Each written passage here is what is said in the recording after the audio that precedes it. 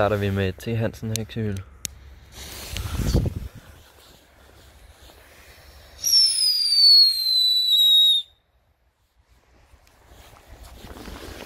Et Harald Nyborg heksehylde fra 2014.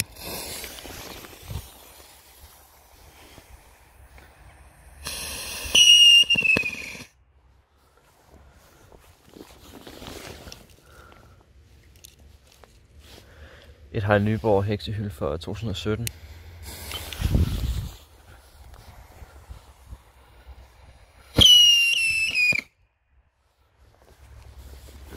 Og et Harald, heks, øh, Harald Nyborg heksehyld fra 2018, som også er i år.